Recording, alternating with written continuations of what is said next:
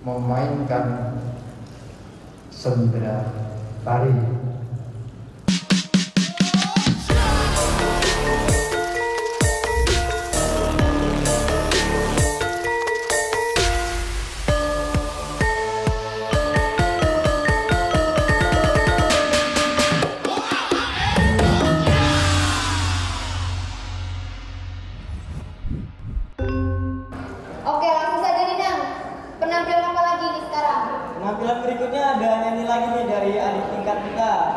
2 yakni Trian Novita yang akan menyanyikan lagu Jangan